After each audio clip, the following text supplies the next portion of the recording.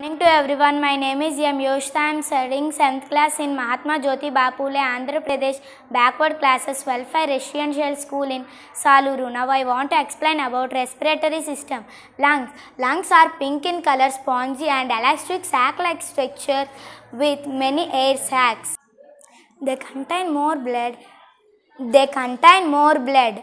They placed safely in the rib cage form rib in the chest cavity. The right lung is larger than the left one. The lungs do not possess do not possess muscles. So they do not expand or contract on their own. Lungs are most important parts in our body. Respiration occurs two types inspiration expiration. The other form of inspiration is inhalation. The other form of expiration is exhalation.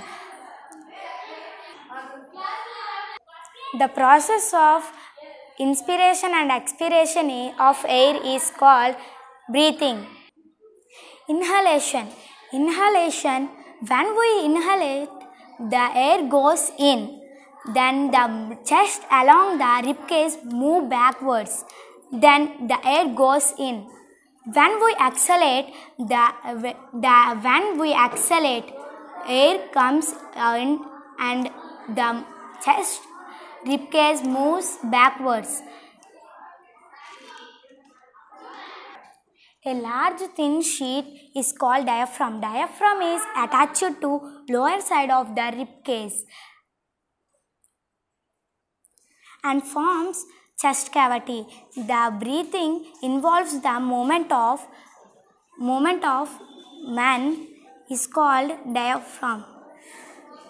The process of breathing involves the movement of the movement of man and rib cage in women respectfully. Thank you. Thank you.